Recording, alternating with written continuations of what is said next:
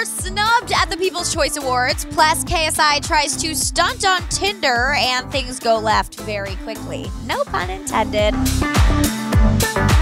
Hey guys, it's Ali for Hollywood Life, starting with Ethan Klein from H3H3, who dissed Logan and KSI after receiving a copyright strike for posting a meme containing footage from their boxing match. I honestly want to blame these guys because they know what they're doing. They're willfully abusing the systems that YouTube has put in place that generally work pretty well most of the time. And it's just, it's so lame, especially KSI because he does reaction videos. He relies on other people's content. Know, the Paul brothers, you can't expect anything from them ever. To be clear, LP and KSI aren't going after users themselves. They have a third party doing that. But you know what? Ethan's got me pumped up because our video also got taken down by these bozos not long ago over a meme. So F KSI, F the Pauls, oh, and F Drake because I know you're refreshing our page just looking for a sliver of footage you can give us a strike for. Hold up. I just got sent purple demon emojis from an unknown number. I take back everything I said about Drizzy and Logan and KSI. I love you all so much. Anyway, to KSI, while he still holds the YouTube boxing champ title, it doesn't seem to be helping him much with the ladies. At least my hairline isn't afraid of my eyebrows.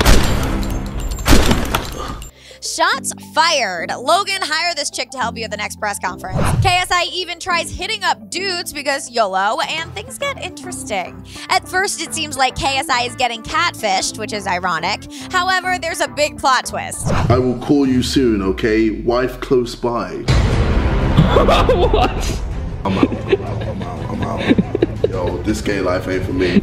My man's got a wife and's trying to talk to Nah, man. But alright, KSI apparently continues his catfishing chronicles because he reveals in a teaser for his next video the man actually called back. Yeah, you took your time there. And I kind of, I find it kind of hot, you know, but you're like sneaking around. You think this is funny? I feel bad for this guy, but he's also trying to cheat on his wife. This is just too messy. I can't. I find it kind of hot, you know. But all right, on to Jake and Logan getting snubbed. The People's Choice Awards reveal their nominations for Social Stars of 2018. And while we got YouTubers like Shane, Lily, and the Dolan twins in the running, the Paul brothers' names were nowhere to be found. I'm mixed on this. At first, I was surprised considering they helped create one of the largest internet events in history, but then I was like, oh yeah, January. Effing January. But they weren't the only ones who were snubbed.